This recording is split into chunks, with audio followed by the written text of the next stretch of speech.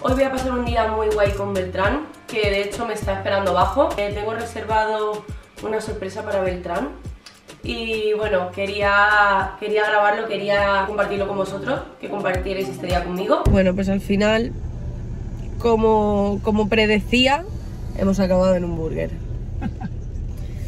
Ay, Dios mío, adiós ensalada, no pasa nada. Aquí tiene la hamburguesa vegana.